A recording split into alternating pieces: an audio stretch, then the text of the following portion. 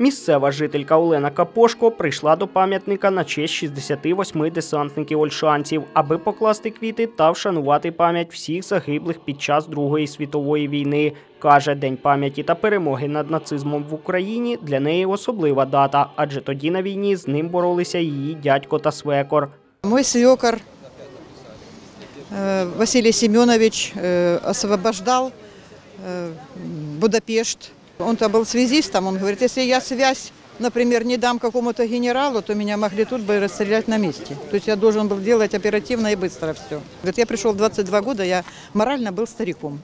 Заступник голови громадської організації Миколаївська міська рада ветеранів Володимир Каренда каже, із учасників бойових дій, які визволяли Миколаїв, в місті в живих вже нікого не залишилось. К сожалению, последний ушел ровно в 99 лет на сотом году. Завтра по программе будут объезжать всех, кто еще живой остался, вот вместе с местными районными органами власти, посещать на дому ветеран.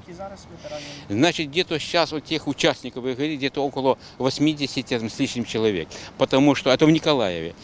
Начальниця управління культури, національностей та релігії Миколаївської обласної військової адміністрації Олена Буберенко каже, вперше відзначають День пам'яті та перемоги над нацизмом як об'єднану дату. Раніше окремо офіційно були затверджені День пам'яті і примирення 8 травня і День перемоги над нацизмом 9-го. Захід з безпекових моментів не анонсували, говорить Буберенко. Але ми обов'язково віримо, що прийде е, мирний час. Ми обов'язково переможемо і вже будемо нашу перемогу святкувати е, більш масштабно, але не забуваючи про цю дату. Тому що колись е, наші воїни так само визволяли міста, села, так як визволяли, так як визволяють зараз Збройні Сили України, також нашу рідну землю.